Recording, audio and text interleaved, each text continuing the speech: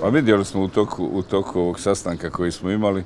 Ja prije svega zahvaljujem uh, ambasadoru Nelsonu i gospodi uh, iz Sjedinja američke država i Evropske unije koji su nam bili danas domaćini. Uh, mi smo vrlo jasno rekli neke svoje stave. Uspjeli smo u međuvremenu vidjeti da uh, gospodin Zadbegović prihvata sve ono što opozicija ovaj, prihvati i dogovori. Ja se bojim da mu to ne bi baš odgovaralo ukoliko uh, bi prihvatio sve ono što, je, uh, što bi mi željeli da bude e, u Bosni i Hercegovini. U svakom slučaju svako od nas iznio svoje stavove. E, u ovom trenutku priča je oko e, indirektnog ili direktnog izbora članova predsjedništva. Da li će možda biti asimetrija?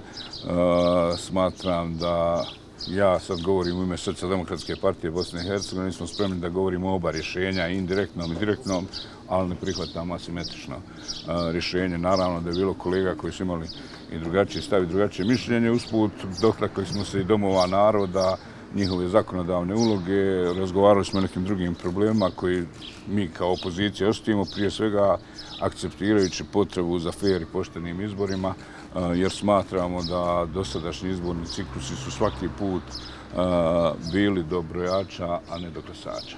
Pa za nas je prihvatljiv neposredan način biranja članova predsjedništva, ali podržali bi asimetričan pristup, to znači neposredan izbor u Republici Srpskoj i posredan u federaciji. Smatramo da za to ima smisla obzirom da imamo već asimetričan sistem kod izbora predsjednika Republike Srpske i predsjednika federacije, što za nas ukazuje nam da je moguće kada u pitanju član predsjedništva s tim da bi se izbrisala ova odrednica oko nacionalne pripadnosti u Ustavu Bosne i Hercegovine. Tako da mislimo da što se nas tiče, to je model po nama asimetričan koji ima najviše šansi za uspjeh. Govorili smo i o izbornom zakonu i nekim drugim pitanjima.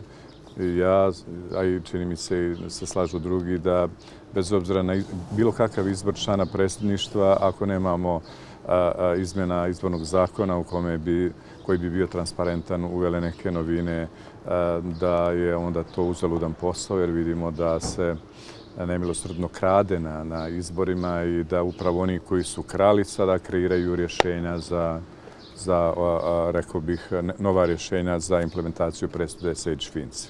Sastanak nije propao, nego nije tačno ono što govori Izetbegović i Čović, još jednom govore neistine.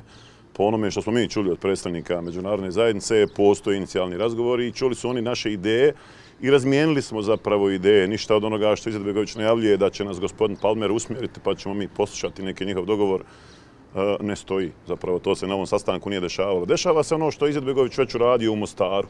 Dakle, neke svoje dogovore sa Čovićem uspio je fakturisati nekome drugom i čini mi se da to pokušava i ovde. E, vrlo zreo sastanak i, i potpuno otvoreni stavovi svih predstavnika opozicije iz Republike Srpske i Federacije, spremnost čak i na kompromise i razmjena naših ideja o kojima smo govorili o o tom asimetričnom mogućem rješenju. Ono što su dvije ključne stvari. Jedna je ne smije ni po koju cijenu doći do opcije da bilo ko može blokirati cijeli sistem i sustav Bosne i Hercegovine na način da bi sutra eventualno poput federalne vlade postojalo neko tijelo koje nakon izbora u tehničkom mandatu provodi 4, 8 ili 12 godina. To je jedna od najvažnijih stvari. Druga stvar je vrijeme i da nam ova međunarodna zajednica nešto da, da bude konkretnija prema građanima Bosne i Hercegovine, da nam da možda i nešto što nismo zaslužili. U nekim pregovorima mislim da bi naše političke elite i to trebale tražiti od predstavnika međunarodne zajednice. Dakle, s one tamo strane čini mi se da je bila farsa, s ove mi se čini vrlo normalan, zreo, dobar opozicioni razgovor. Jeste li za asimetrično rješenje? E, mi nismo čuli konkretne prijedloge. Šta znači asimetrično rješenje? Ne znamo. Da li je ono e, u suštini, da li znači da bi se na federalnoj strani u državnom parlamentu ili u predstavničkom domu federacije ili možda i u domu naroda federacije birali predstavnici iz federacije. Šta, dakle, nemamo skoro nikakve informacije i zaista bi bilo čudno da dajemo neke zvanične stavove prije nego što neki papir vidimo. Oni očigledno imaju neki papir, možda Izetbegović i Čović, ali ga mi ne vidimo. Treba da ga vidimo. Ne, ne mogu reći da to znači, naši su stavi potpuno jednostavni i jasni. Dakle, ono što zagovaramo ne krijemo. Ovdje smo sad u fazi da smo uključeni u neki proces koji očigledno ima svoju dinamiku, nemamo sve informacije, a od nas se traži da kažemo slažemo se s tim ili ne. Kad dobijemo sve dokumente na sto, naravno da ćemo se pojedinačno o svakom, kako reče kolegica Čudić, o svakom detalju, jer u tim detaljima često leži neki dogovor, pogotovo ovo što, što nas nas već zabrinjava Izetbegović Čović. Direktan izbor člana predsjedništva u izbornoj jedinici Republike Srpskoj prihvatljiv je dogovor političkih partnera u Federaciji Bosne i Hercegovine ako je u pitanju indirektan model u Federaciji, ali za nas ključno pitanje koje može riješiti sve probleme u ovoj zemlji. A to je uvođenje optičkog skeniranja, skeniranja glasačkih listića, da u 7.15 imamo rezultate izbora i da ne čekamo da li će tamo neko da krade tokom noći preko izbornih brojača i kreira, prekraja volju E, birača i to je za nas ključni moment koji može opredijeliti da li ćemo imati fair i poštene izbore i to se može uraditi ako postoji politička volja. Onaj ko je protiv skeniranja glasačkih listića i tih po nama suštinski, neko kaže tehnički izmjena izborog zakona, on u suštini hoće da, e, da ostane pri tome da se na krađama, lopovlucima, otimačini kreira subina ove zemlje i na izbornoj korupciji uvodi korupcija u sistem i sve strukture u, u ovoj zemlji. Ja mislim da smo danas pokazali jednu vrstu zrelosti i spremnosti da mijenjamo izborno zakonodavstvo na način da imamo zaista fair, demokratske, poštene izbore i da smo spremni da u tome učestvuje. Za nas je to najvažnije pitanje. Kada smo govorili o tome kako i na koji način zabrati članove predsjedništva, jasan je stav kolege Šarovića i mene da je za nas asimetričan e, e, model prihvatljiv, da se na direktan način bira član predsjedništva iz Republike Srpske, a druga dva na indirektan način kroz parlament federacije ili e, parlament Bosne i Hercegovine, u zavisnosti naravno ako postoji određen dogovor. Nema konkretnog prijedloga. I svjedoci smo da smo e, da smo u zabludi ako mislimo da će vladajuća koalicija donijeti određeno rješenje. Mjeseci prolaze, godine prolaze, zavaravaju, lažu, petljaju, traže samo jednu stvar, a to je da što prije prođe ova neizborna godina i da onda imaju ključ izgovor da je nemoguće mijenjati izborno zakonodavstvo u 2022. godine u izbornoj godini. To se dešavalo već dosta 5-6 puta i to je ključni cilj i SNSD-a, i HDZ-a, i SDA. Juli je mjesec, da se dođe do septembra, malo još onako svađe, tenzija, da se dođe do, do novembra, decembar, praznici, uđemo u januar i kažemo izborna godina, nema izmjena izbornog zakona. I to će tako biti. Svjedoci kako se radi u, u, u, u, u radnoj grupi za izmjenu izbornog zakonodavstva i to je potpuno jasno.